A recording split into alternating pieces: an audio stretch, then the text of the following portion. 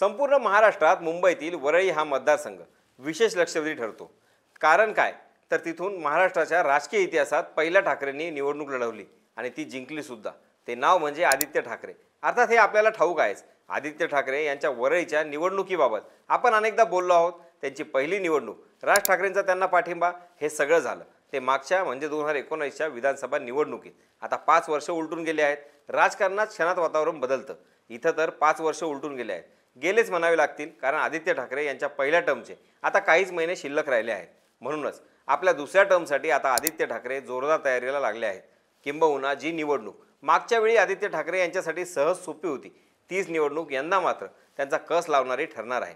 कारण एकीकडं राज ठाकरे यांनी संदीप देशपांडे यांना वरळीतून पहिली उमेदवारी जाहीर करून टाकली आणि आदित्य ठाकरे यांच्यासमोर तगडं आव्हान उभं केलं. तेव्हापासून आदित्य ठाकरे यांच्या वरळी मतदारसंघाबद्दल अनेक तर्कवितर्क लावले जाऊ लागले आहेत. किंबहुना आदित्य ठाकरे यांच्या अडचणीत दुपटीनं वाढ होण्याची शक्यता आहे. कारण महायुतीतून एक मोठा चेहरा आदित्य ठाकरे यांच्या विरोधात उतरणार असल्याचे संकेत आता महायुतीकडून देण्यात येत आहेत. ते नाव म्हणजे अमोल मिटकरी. उपमुख्यमंत्री अजित पवार यांच्या नेतृत्वाखालील राष्ट्रवादी काँग्रेसचे प्रवक्ते विधान परिषदेचे आमदार अमोल मिटकरी हे मुंबईतून विधानसभा निवडणूक लढवण्याची शक्यता आहे. आता अमोल मिटकरी यांच्या नावाची चर्चा कशी सुरू झाली? महायुतीची याबाबतची भूमिका काय? अमोल मिटकरी जर का इथून रिंगणात उतरले तर आदित्य ठाकरे यांना कितपत धोका पत्करावा लागू शकतो? काय आहेत अमोल मिटकरी यांचं या मतदारसंघातून निवडणूक लढवण्यामागचं समीकरण? या सगळ्या प्रश्नांची उकल करणारा हा सविस्तर रिपोर्ट नमस्कार मी स्वप्नील आणि आपण पाहता त्याचं काय महाराष्ट्र. तर मंडळी राज ठाकरे यांनी मनसेचे आक्रमक नेते प्रवक्ते म्हणून ओळखले जाणारे संदीप देशपांडे यांना वरळी मतदारसंघातून. आदित्य ठाकरे यांच्या विरोधात उमेदवारी जाहीर केली आहे. मात्र गेल्या दोन तीन दिवसांपासून वरळीमध्ये अमोल मिटकरी यांचे बॅनर विविध ठिकाणी झळकताना दिसत आहेत. हे बॅनर्स राष्ट्रवादीचे विधान परिषद आमदार अमोल मिटकरी यांच्या समर्थनार्थ लावले असून या बॅनर्सवर संभाव्य उमेदवार संभाव्य आमदार वरळीत घड्याळवाला आमदार हवा असा अमोल मिटकरी यांचा उल्लेख करण्यात आला आहे. त्यामुळं अमोल मिटकरी हे महायुतीकडून या मतदारसंघाचं प्रतिनिधित्व करू शकतात असा सरळ अर्थ या बॅनर्समधून निघतो. मात्र हे सगळं चाललंय ते फक्त अजित पवार गटाकडून. यात महायुतीतील इतर पक्षांचा कुठलाच सहभाग नाही. कारण महायुतीत या जागेवर भाजपही तयारी करत असल्याच्या बातम्या मध्यंतरी झळकल्या होत्या. पण अजूनही भाजप किंवा शिंदेगड यांनी या जागेबाबत कुठलंच भाष्य केलेलं नाही. याचं एक महत्त्वाचं कारण असू शकतं. ते म्हणजे राज ठाकरे. आता राज ठाकरे यांनी विधानसभेसाठी स्वबळाचा नारा लगावला आहे. कारण त्यामुळं महायुतीच्या विरोधी त्यांची भूमिका ठरते. मात्र दोन हजार चौदा आणि दोन हजार एकोणीसच्या विधानसभेत राज ठाकरे आणि युतीत ज्या पद्धतीचा विरोध होता त्या विरोधाची तीव्रता आता तितकी राहिलेली नाही. कारण राज ठाकरे यांनी म्हटल्याप्रमाणे लोकसभेत त्यांनी महायुतीला बिनशर्त पाठिंबा दिला. ते लोकसभेच्या रिंगणात उतरले नसले तरी महायुतीसाठी त्यांनी प्रचारसभा घेतल्या आणि गाजवल्या. त्यामुळं कुठंतरी महायुतीकडं राज ठाकरे यांच्याबद्दल सॉफ्ट कॉर्नर आहे. आता सॉफ्ट कॉर्नर अगदीच म्हणता येणार नाही पण राज ठाकरे युतीत सामील होत नसतील तर त्यांनी पुन्हा महायुतीशी बांधून ठेवणं हे महायुतीसाठी फायद्याचं आहे. हे भाजपच्या आणि एकनाथ शिंदेच्या नेत्यांना चांगलंच ठाऊक आहे.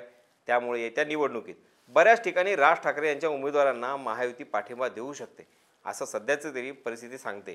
त्यातलाच हा एक मतदारसंघ असू शकतो. कारण आदित्य ठाकरे यांचा वचपा काढणं महायुतीचा सुद्धा उद्देश आहे. असं असलं तरी राज ठाकरे यांनी उमेदवार जाहीर केला असताना महायुतीनं तिथं उमेदवार दिल्यास त्याचा फायदा नेमका कोणाला होणार? याचं आकलन करायचं झाल्यास या मतदारसंघाचा आधीचा अहवाल बघावा लागतो. सगळ्यात महत्त्वाची गोष्ट म्हणजे वरळी मतदारसंघ हा सुरुवातीपासूनच शिवसेनेच्या ताब्यात राहिला आहे. एकोणीसशे नव्वद पंच्याण्णव नव्याण्णव आणि दोन हजार चार या चारही विधानसभा निवडणुकीत शिवसेनेचे दिग्गज नेते दत्ताजी नलावडे यांनी या मतदारसंघातून विजय संपादन केला.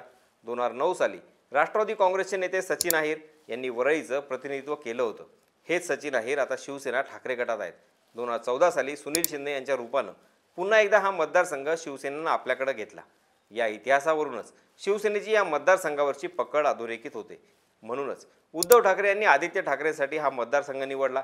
आपल्या पहिल्याच निवडणुकीत आदित्य ठाकरे यांनी वरळीमधून राष्ट्रवादी काँग्रेसच्या सुरेश माने यांचा सदुसष्ट हजार चारशे सत्तावीस मतांनी पराभव केला होता.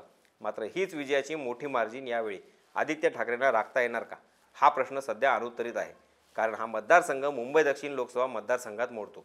लोकसभेत ठाकरे गटाकडून उमेदवार असलेल्या अरविंद सावंत यांना वरळी मतदारसंघात केवळ सहा हजार सातशे पन्नास इतकंच मताधिक्य भेटलंय. त्यामुळं आदित्य ठाकरे यांना यंदाची विधानसभा सोपी नसणार हे तेव्हाच निश्चित झालं होतं. आता संदीप देशपांडे यांचं नाव जेव्हा वरळीतून समोर आलं तेव्हा आदित्य ठाकरे यांना धडकी भरावी असंच हे नाव ठरलं. मुळात एकतर तरुण नेतृत्व त्यात मनसेतलं आणि मुंबईतलं मोठं नाव आणि राज ठाकरे यांचे अत्यंत विश्वासू सवंगडी असा दबदबा संदीप देशपांडे यांचा आहे. शिवाय वरळीमध्ये मनसेची ताकद दिसून येते. त्यात उद्धव ठाकरे यांचं काँग्रेससोबत जाणं कुठंतरी मराठी माणसाला दुखावणारं ठरलं आहे. त्यामुळं कित्येक वर्ष शिवसेना आणि पर्यायानं ठाकरेंना मानणारे वरळीकर यांच्यासाठी राज ठाकरे हा एक पर्याय ठरू शकतात. त्यामुळं आदित्य ठाकरे विरुद्ध संदीप देशपांडे ही लढत नक्कीच तुल्यबळ होणार आहे यात काही शंका नव्हती. मात्र अचानक राष्ट्रवादीच्या अमोल मिटकरी यांनी घेतलेली उडी इथं सगळ्यांनाच चक्रावून सोडणारी आहे. कारण अमोल मिटकरी आणि मनसे यांच्यातील संघर्ष अजूनही ताजा आहे. मनसे आणि अमोल मिटकरी यांचा काही दिवसांपूर्वी झालेला राडा संपूर्ण महाराष्ट्रानं पाहिला. अमोल मिटकरी यांनी मनसे प्रमुख राज ठाकरे यांच्यावर केलेल्या टीकेचे जोरदार पडसाद उमटले. मनसैनिकांनी अमोल मिटकरी यांची गाडी फोडून राज ठाकरेंवरील टीकेचा चांगलाच समाचार घेतला. या सगळ्या राड्यानंतर मनसे तयारी करत असलेल्या वरळी मतदारसंघात अमोल मिटकरी यांचे आमदारकीच्या उमेदवारीसाठीचे बॅनर म्हणजे निव्वळ योगायोग आहे की खरंच काहीतरी राजकारण शिस्त आहे असा प्रश्न इथं उपस्थित होतो. कारण आदित्य ठाकरे यांच्यासमोर जर फक्त संदीप देशपांडे असतील तर त्यांच्यासाठी मोठं दिव्य आहे. परंतु अमोल मिटकरी यांची या मतदारसंघातील एंट्री ही आदित्य ठाकरे यांच्यासाठी फायद्याची ठरू शकते. कारण इथं संघर्ष हा अमोल मिटकरी आणि संदीप देशपांडे यांच्यात असल्यामुळं. अमोल मिटकरी यांचा संपूर्ण फोकस हा संदीप देशपांडेच असतील. शिवाय महायुतीची जी मतं संदीप देशपांडेकडे येऊ शकतात ती मतं मिळवण्यासाठी संदीप देशपांडे यांना कसरत करावी लागू शकते. या सगळ्याचा फायदा आदित्य ठाकरे उचलताना दिसू शकतात. कारण महाविकास आघाडीतील इतर घटक पक्षांची मतं ही आदित्य ठाकरेंच्या पारड्यात पडू शकतात. परंतु एक शक्यता अशीही व्यक्त होते. ती म्हणजे आदित्य ठाकरे यांना अमोल मिटकरी यांचंही नुकसान होऊ शकतं. जरी अमोल मिटकरी हे मनसेचा वचपा काढण्यासाठी वरईमध्ये उतरण्याची शक्यता असली तरी आदित्य ठाकरे यांच्या वाट्याचं थोडंफार मताधिक्य हे यांना मिळू शकतं. कारण ते गेली कित्येक वर्ष आघाडीचा भाग होते हे विसरून चालणार नाही.